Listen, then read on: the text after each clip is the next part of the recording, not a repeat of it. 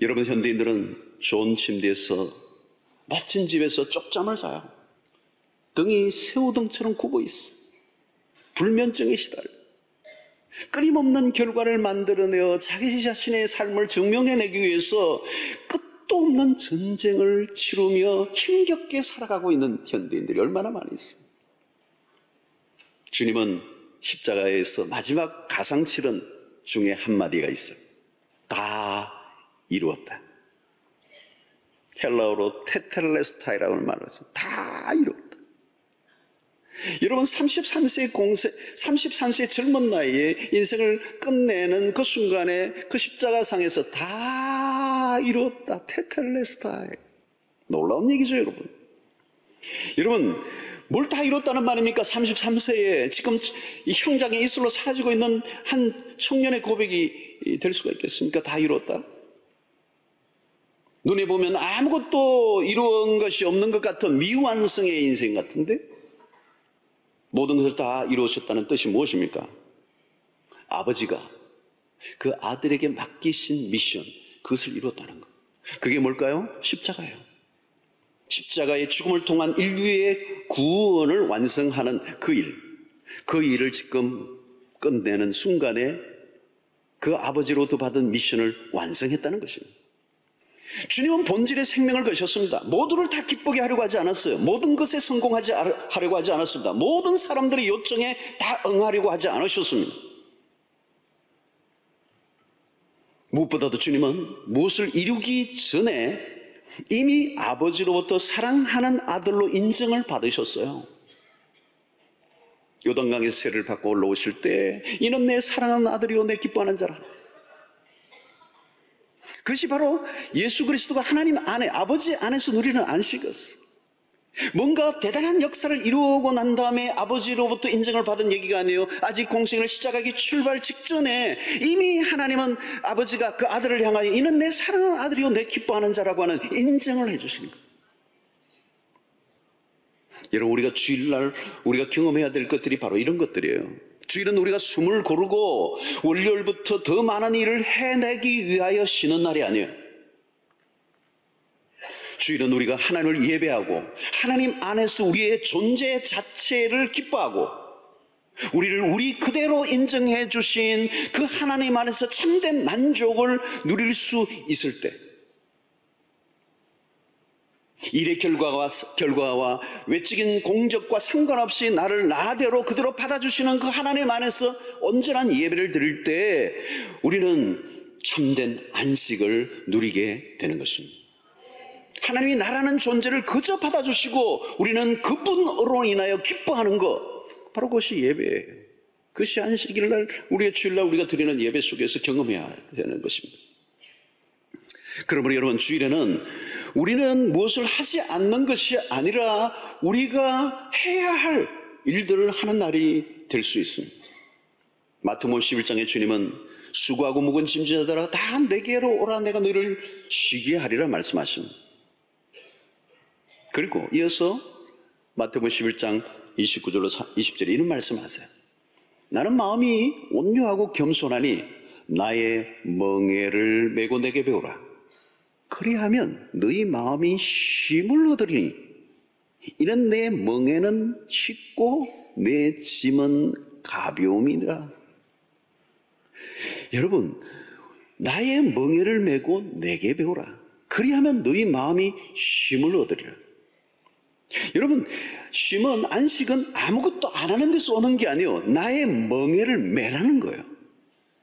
나의 멍에를 메고 내게 배우면 내 짐은 쉽고 가볍다는 거. 그리고 그 안에서 안식을 주시겠다는 거. 여러분, 주, 어떻게, 주님이 어떻게 명예를 매셨는가를 배워야 돼요. 그러면 그 짐이 무겁지 않고 가볍다는 것입니다. 율법자들은 어떻게 했습니까? 그 당시 율법주의자들은 자신들도 못 질 무거운 짐을 백성들이 지웠어요. 그러니까 백성들이 그 집에 허덕이고 힘들어 하니까 우리 주님이 수고하고 묵은 짐진 자들아 다 내게로 오라. 내가 너희를 쉬게 하리라. 주님은 달랐어요. 주님은 자신이 지시는 멍에는 가볍고 쉽다는 거예요. 이유가 뭘까요? 주님은 사랑으로 모든 것을 행하고자 하셨어요. 사랑의 힘으로. 이미 아버지로부터 받았던 그 사랑의 힘으로 아버지가 주신 미션을 기쁨으로 감당하신 거예요. 심지어 십자가마저도 기쁨으로 감당하셨어요. 저는 늘 볼 때마다 할머니들, 꼬부랑 할머니들이 손자를 하루 종일 업고 있는 걸 보면 저는 사랑이구나. 손자의 그 무게와 똑같은 돌덩어리를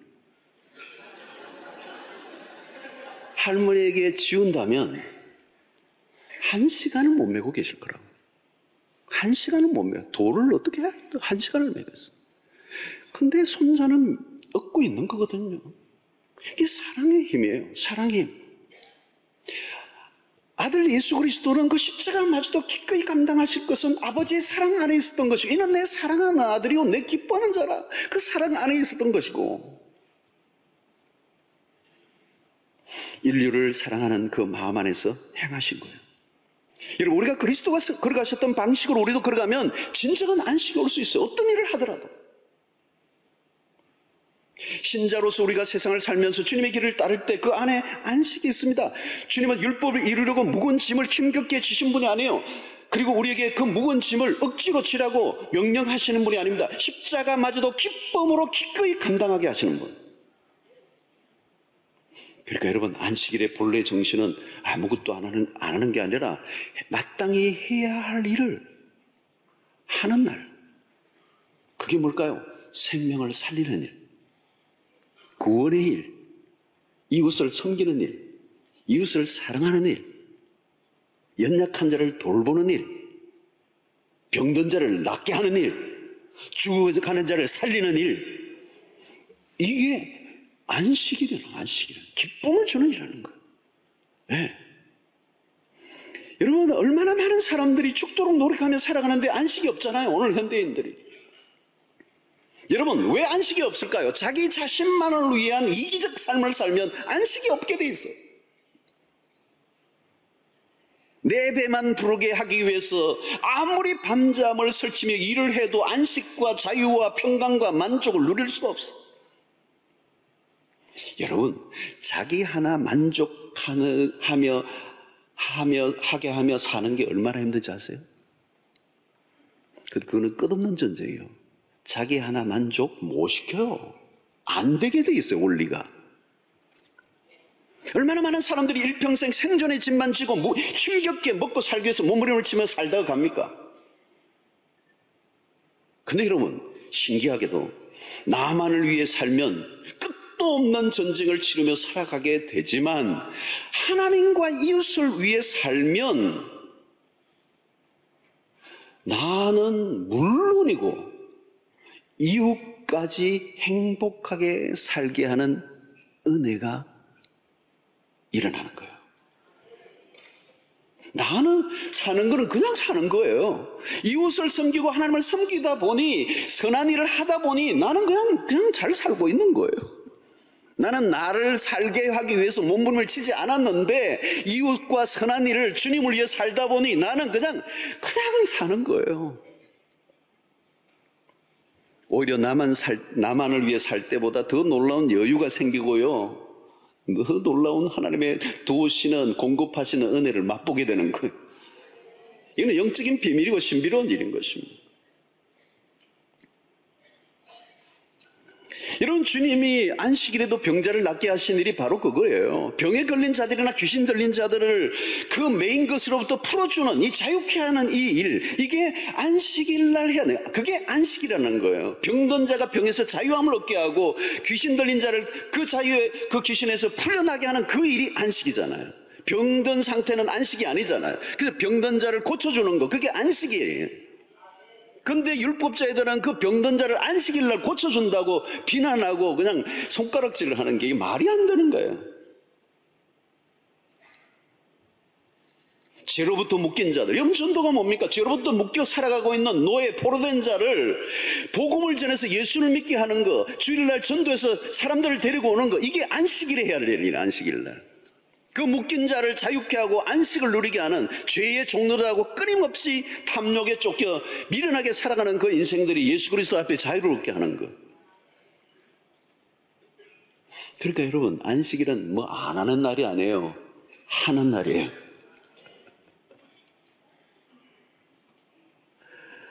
안식일을 제정하신 본래 목적은 회복입니다. 상하고 깨어진 것을 회복하는 날이 안식일이에요. 그래서 오늘 여러분들이 예배를 마치고요. 어디 연약한 형제, 연약한 이웃의 신방 가셔서 그를 위로하고 그를 격려하고 밥이라도 한 끼 사주고 그가 다시 용기를 갖게 하고 그를 회복시키게 하는 일이라면 그건 진짜 해야 될 일입니다. 안식일에 우리가 해야 될 일은 여러분 손 마른 사람이 고침을 받았다는 것은 안식일에 해야 할 본질적인 일을 한 것입니다. 우리가 잘 알듯이 계명의 핵심은 뭘까요? 이 십계명은 한마디로 뭡니까? 하나님 사랑, 이웃 사랑입니다. 그 하나는 한 단어를 찾으라면 십계명의 원리는 사랑이에요. 하나님을 사랑하라, 이웃 사랑하라. 다 합치면 사랑입니다. 문자적으로만 지키지만 사랑과 자비의 마음이 없다면 온전히 지킨 것이라고 할 수가 없는 거죠. 그러면 여러분 이 4계명이 그 다음에 나오는 5계명부터 10계명까지 이웃을 사랑하라고 하는 것과 얼마나 긴밀히 연결되어 있는지 알 수가 없습니다. 부모를 공경하는 것부터 그냥 살인하지 말라 많은 이웃을 사랑하는 이 부분이 이 4계명이 5계명과 6, 6, 7, 8, 9, 10계명과 다 연결이 되어 있는 거예요. 안식일의 핵심이 뭐예요? 사랑을 실천하는 거죠. 형식적인 예배를 한 번 드리고 무엇 무엇을 안 하는 것으로 안식일을 지켰다고 생각하면 이 안식일에 대한 잘못된 오해예요.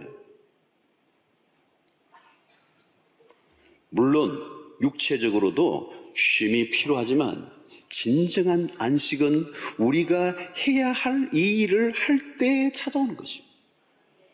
참 의미 있고 보람이 있고 가치 있는 일을 했을 때 찾아오는 기쁨이 있잖아요. 저 같은 경우에도 이 주일날 같은 데는 하루 종일 설교를 하죠.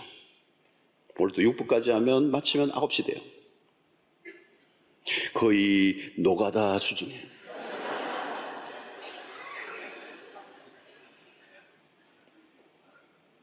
근데 육체적으로는 피곤함이 있죠. 그러나 말로 다룰 수 없는 기쁨이 있어요. 노동을 하지 말라는 개념으로 본다면 이렇게 하면 안 돼요. 저는 일부만 하고 가야 돼요. 그렇게 계속 하는 이유는 뭘까? 이게 안식의 진정한 의미예요. 하나님의 복음을 선포하고 말씀을 선포하고 사람들의 회복이 일어나고 변화가 일어나고 육부 때 가면 젊은이들이 만나서 그 젊은이들의 말씀을 주고 그들이 삶의 희망을 찾게 되고 이게 회복을 하게 하는 일이란 말이죠. 여러분 주일날 생명을 살리는 일을 해보세요. 주일날 따분하게 지루하게 보내지 마십시오. 예, 선을 행해 보십시오. 사람을 살리는 일에 참여해 보십시오. 평소에는 정신 없이 사느라고 돌보지 못했던 사람을 돌아보는 일을 한번 해보십시오. 연약한 자들 돌아보고 사랑을 실천하고 교회에서도 아이들을 가르쳐 보시고 연세 많으신 분들은 직접 못 가르치시면은 그 유튜브 이런 데 보면 아이들 신발 정리하는 것들도 할아버지들이 다 하실 수 있어요. 손자 같은 아이들을 위하여 구석진 곳에서 그 아이들을 위한 뭐 도와줄 수 있는 일도 해보십시오, 여러분. 놀라운 기쁨이 있을 거예요. 성도들 간의 교제도 나누시고 혼자 쉬는 날이 주일날이 아니에요. 하나님의 공동체를 세워가고 연약한 자를 북돋아주고 수고를 해보는 것입니다. 여러분 우리는 일을 안 함으로 쉼이 오는 부분도 있지만 선한 일을 행함으로 오는 안식이 있다는 것. 우리가 성교지로 많은 분들이 떠났습니다. 지금도 떠나가고 있는데요. 성교를 가기 위해서 준비하는 분들 보면요. 흥분이 있어 흥분. 아, 흥분이 있어요 흥분. 그리고 그들이 가면 실제적으로 우리보다 문화적으로 문명적으로 아주 떨어진 곳이기 때문에 굉장히 열악한 환경입니다. 동남아 같은 데는 지금 뭐 찌는 찌는 더입니다. 모기에 물리고요. 물도 없고요. 그런 데서 선교를 하는데 쉽지 않지만 여러분 공항에 들어올 때 보면 그들의 얼굴이 얼마나 기쁨이 있는지 모르. 얼굴은 꺼올렀고 고생은 했는데 그 얼굴에서 포스가 나오는 그 평안, 그 안식이 있어요. 자유함이 있는 거예요. 많은 사람들에게 복음을 전하고 사랑을 실천했을 때 찾아오는 그 기쁨, 그 감격이 있는 그게 안식이라는 거, 안식.